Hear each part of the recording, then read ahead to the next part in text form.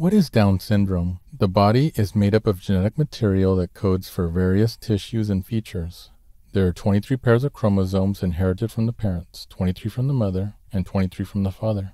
Down syndrome is a disorder in which a child is born with an extra copy of chromosome 21, either a complete copy or a partial copy. This is why Down syndrome is also commonly known as trisomy 21. How common is Down syndrome? The condition affects about 1 in 1,000 live births. Down syndrome is more likely to occur in mothers who are over the age of 45. However, because more women of younger age represent the majority of mothers who give birth, most children with Down syndrome are actually born to mothers who are in their 20s and 30s. Down syndrome predisposes patients to several health conditions such as problems with their immune system, obstructive sleep apnea, heart defects, mental learning disabilities, seizures, and certain cancers.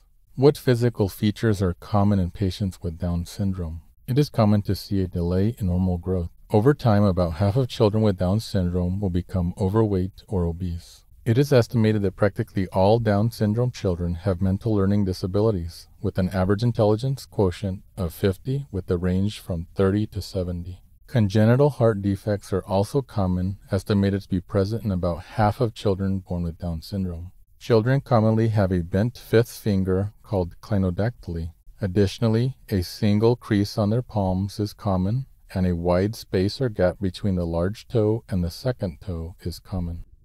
Facial and head features that are commonly observed include a flatter head and flattened face, upslanting between the middle and the outer part of the eyes, an epicanthic fold in which the skin fold of the upper eyelid covers the inner corners of the eye, light spots in the iris called Brushfield spots, a narrow palate, abnormal teeth, a large protruding tongue, lower set and smaller ears, a shorter neck, and nuchal skin folds which increase the amount of skin in the back of the neck. Children are predisposed to having recurring ear infections because of eustachian tube dysfunction.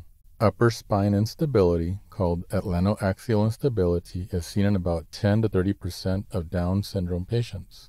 About 75% of children with Down syndrome have obstructive sleep apnea, in which there is snoring and blockage of the airway with choking, gasping, pauses, and or blocked breathing.